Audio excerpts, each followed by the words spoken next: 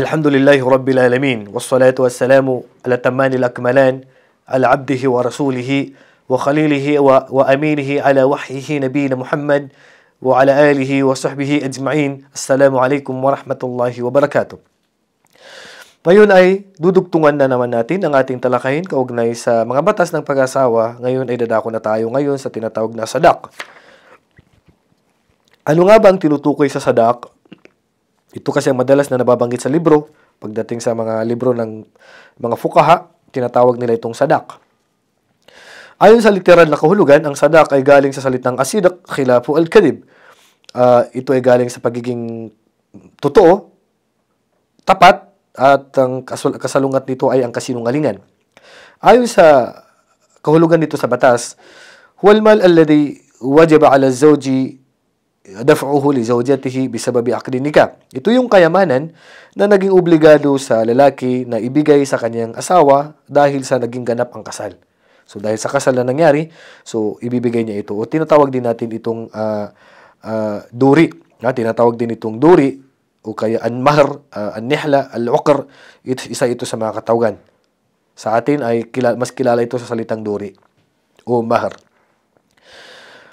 Ito ay ah, nabanggit ang pagpa ang batas nito na mayroon talaga ito at obligado ito nabanggit sa Quran, sa, sa hadith at napagkasunduan ng mga scholar ang batas nito.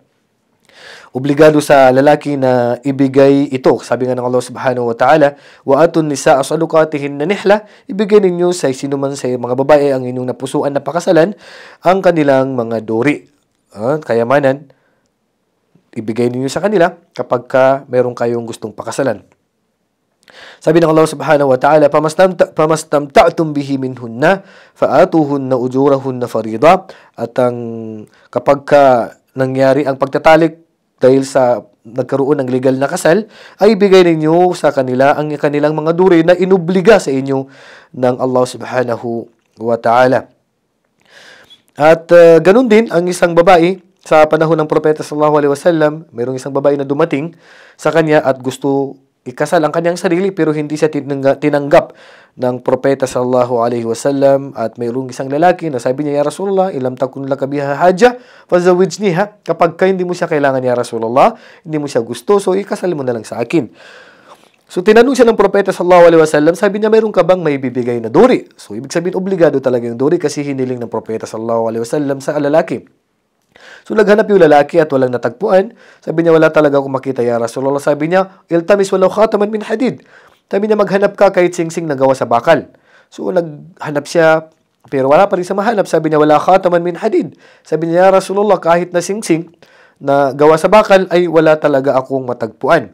So, ibig sabihin, napakahirap nung lalaking ito. Pero ganun pa man, hindi pa rin naging hadlang yun na hindi maging, ah, hindi matuloy ang kasal.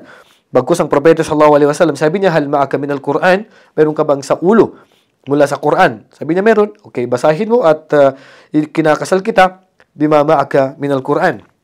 Kinakasal kita sa kanya sa pamagitan ng duri na mababasa mo na sa ulo mo mula sa Quran. At uh, yung iba pwede pang maging duri ang mga pakinabang. Ha? So ibig sabihin obligado na magkaroon ng duri at depende ito sa kahilingan ng babae. Pwede siyang humili ng pera, pwede siyang humili ng singsing, pwede siyang humili ng ginto, pwede siyang humiling ng isang gawain na may pakinabang, at pwede siyang humiling ng anumang bagay, pwede siyang humiling na magbasa ka ng Quran. At uh, isang araw ang propeta sallallahu alaihi wasallam nakita niya si Abdurrahman bin Auf na may- mayroon siyang pabango. Sabi niya, Ah, may ham. Yani, anong uh, mayroon na sabi niya sa iyo, Abdurrahman bin Auf? Fakala ya Rasulullah tazawwajtu imra'atan. Sabi niya, ya Rasulullah, nag-asawa ko ng babae. Fakala, ma asdaktaha. Sabi niya, anong binigay mo sa kanyang duri? Unang itinanong sa kanyang propeta pagkatapos niyang tanong, ano bang nangyari? Hindi nalaman niyang kinasal. Sabi niya, ano bang ibinigay mong duri sa kanya? Sabi niya, qala waznu nawatin min dhahab. Sabi niya, isang napaka isang bigat, isang uh, butil sabi niya ng tamar, yung ibig sabihin kasing kalaki ng kuko ko na ginto. So sabi ng propeta sallallahu alaihi wasallam, barakallahu lak awlim walau bisha. Uh, biyayaan nawa ikaw ng Allah at magpakain ka sabi niya kahit na isang tupa. At napagkasunduan ng mga scholar na ang ang ang uh, Dori ay kabilang ito sa kasal kung hihilingin ito ng babae. Gaano kadami ang duri? Meron bang takdang bilang, pinakamaraming duri, pinakamababang bilang? Actually, wala, hindi po nabanggit kung gaano kadami ang duri, gaano pinakamababa, ilan, ano bang pinakamababang uri ng duri, at ano ba ang pinakamataas na uri ng duri.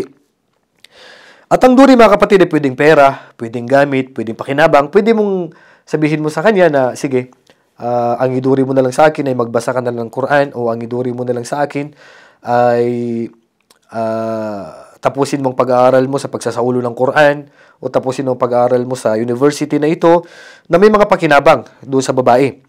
So, pwedeng maging duri ito. O kaya, pwedeng hilingin ng babae na sige, yumakap ka sa Islam at yung pagbumuslim mo ay pwede mong maging duri na po sa akin. Pwede rin po yun. Sabi ng Allah subhanahu wa ta'ala sa Quran, فإن أردتم استبدال زوج مكان زوج وآتيتم إحداهن قنطارا فلا تأخذوا منه شيئا kapag ka gusto na ninyo magpalit ng asawa dahil naghiwalay na kayo ng misis nyo at nabigyan niyo ang inyong mga asawa ng napakalaking duri, wag niyo na, wag na ninyo itong bawasan ng ano paman pag naibigay niyo na. Ibig sabihin obligado talaga 'yon.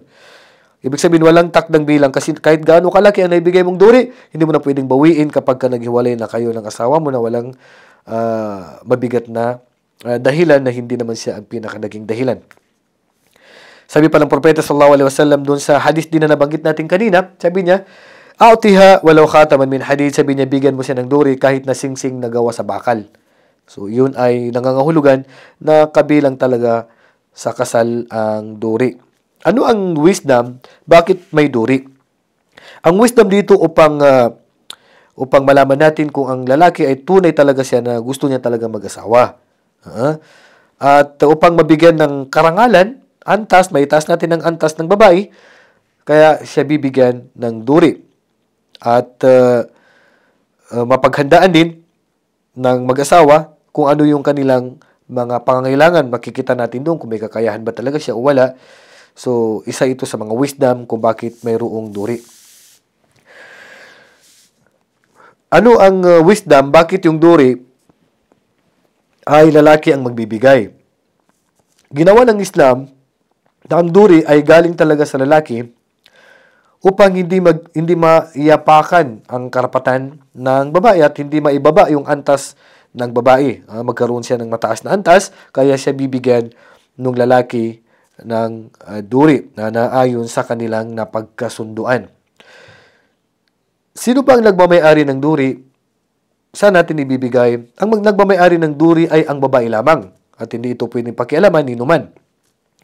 Maliban kung papahintulutan yung tatay niya na sila ang mag-receive, so walang problema, pero sa kanya pa rin ito uh, ibibigay.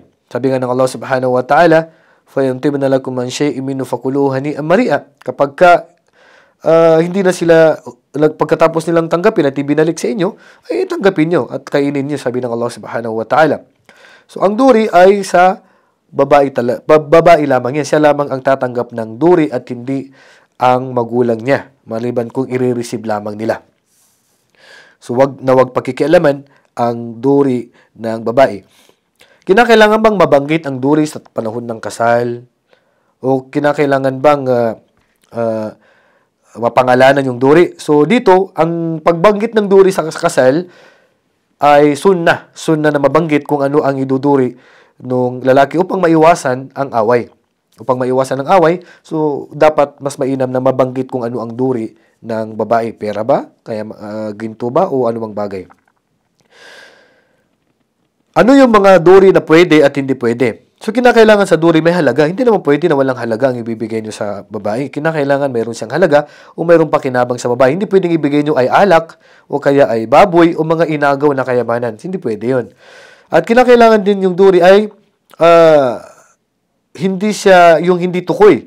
Kinakailangan yung duri ng babae ay alam niya kung ano ang ibibigay mo sa kanya. Hindi yung hindi niya alam. Hindi mo pwedeng sabihin na ang duri mo ay hayop. Ang duri mo ay prutas. So, hindi mo sasabihin anong uri ng duri yon, anong uri ng prutas. So, kinakailangan mabanggit sa kanya ang pangalan kung ano ang kanyang duri. So, ang duri, hindi po obligado ng kinakailangan pera lamang. Pwedeng pera, pwedeng gamit, pwedeng may pakinabang sa kanya. Kalugtong dito, ang duri ba, ang pagpapaliban at pag-a-advance ng duri, ibibigay agad at ipagpapaliban, ika nga uutangin. So dito, Pwede lahat. Pwedeng ibigay agad, pwedeng kalahati muna, pwedeng utang muna, uh, pwedeng pagpaliban muna. Lahat ito ay pinahihintulutan sa batas ng Islam. Huwag lamang yung napakatagal naman na saka mo na lang ibibigay ay isang taon, dalawang taon, apat na taon, ah, walo lang anak nyo. So, hindi pwede yon Kasi para mo na sinabi na wag hindi ayaw mong magbigay ng duri. At uh, ano ba ang batas ng pagpapataas masyado ng duri. Hulmul mugala fi sadak, yung nap, ano bang batas na tataasan masyado ang duri. So ang sunna mga kapatid ay huwag tataasan ng duri. Sabi nga ng propeta sallallahu alaihi wasallam ay sa ruhun na mu'natan baraka, ang pinakamagaan ng duri sa kanila, yun yung may blessing, yun ang may baraka.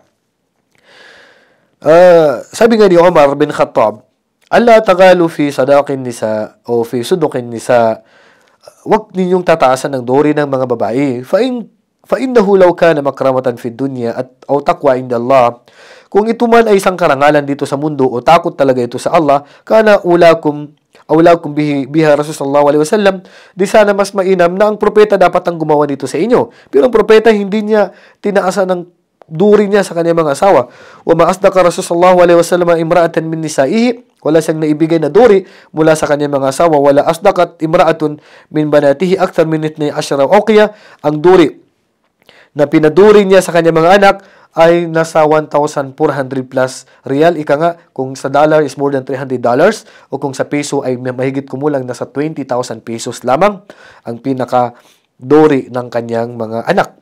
So, hindi uh, sunna na tataasan natin ang duri. Ang sunna po ay bababaan at huwag nating pahihirapan ang lalaki.